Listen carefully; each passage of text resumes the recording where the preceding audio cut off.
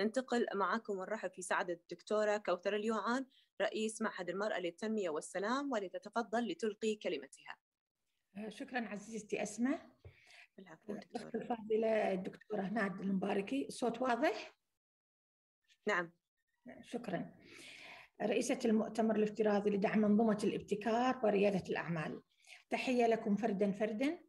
وبعد نجتمع اليوم لتأكيد تواصلنا والتعرف على نتائج المؤتمرين السابقين والتعرف أكثر على مفهوم ريادة الأعمال التي تشغل فكر الاقتصاد السياسي والذي عرفها بأنها عملية تحديد والبدء في مشروع تجاري وتوفير المصادر وتنظيم الموارد اللازمة.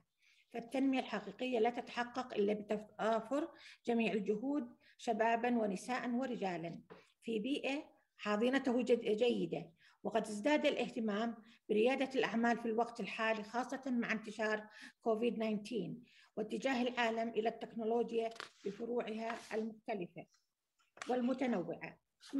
مما جعل السباق المعرفي يتزايد لدى رواد الأعمال لمعرفة المشكلات التي تواجه المجتمع وكيفية رسم الحلول ووضع الدراسات وخلق المبادرات الإيجابية المتميزة والمتعلقة بتأسيس الشركات والمنظمات الجديدة ما يعني مساهمتها الفعالة والقوية في دعم احتياجات ومتطلبات التنمية المستدامة.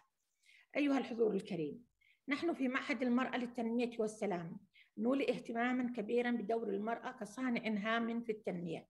وإذا كانت فلسفة التنمية المستدامة تعتمد على التنسيق الكامل بين الأجهزة وبعضها وتصور السياسات المستقبلية للدولة فإن المرأة تشكل عمود التنمية لأن تمكين المرأة في المجتمع وريادة الأعمال حق أصيل لها وليس مكسبا وهي جديرة به. فالمرأة الكويتية مثلا بصورة عامة قد تجاوزت الكثير من التحديات والمعوقات وأصبحت واضحة في كل مشهد. واستطاعت المرأة الكويتية أيضا التفوق في الأعمال الخاصة وبرز هذا في كثير من مجالات العمل خاصة في القطاع الخاص والمشروعات الصغيرة والمتوسطة.